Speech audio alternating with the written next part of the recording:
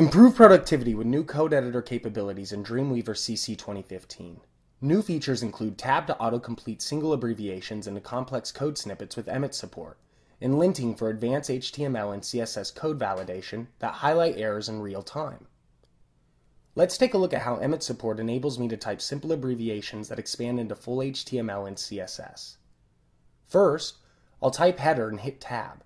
Next, I'll create the structure of the main menu navigation to include an unordered list with five items that each link to another part of the page. I'll add lorem ipsum text to set up the page layout before I have actual content. I can read and navigate my code more easily by hovering over the line numbers and clicking the triangle to collapse or expand sections of code. You can also use shortcuts when coding CSS. I can set the width of the class selector for this div in pixels, or to a percentage. I'll add a background color property and set it to light blue. I can now mouse over color values in Code View and see a preview for the colors defined using hexadecimal, RGB, or HSLA color systems.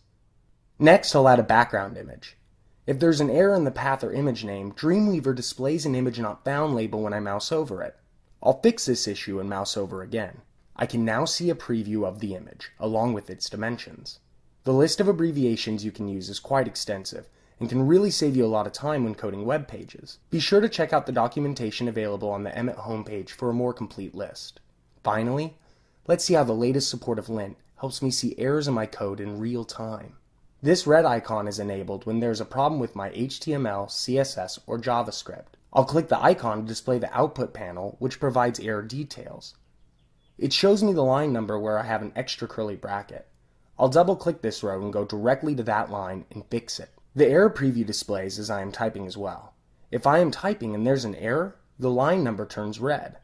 I can hover over it to get the error message and correct the problem. Dreamweaver is a complete all-in-one tool for building modern websites with time-saving, error-free workflows to help you manage your code. Be sure to update to the latest version of Dreamweaver to try these features on your own.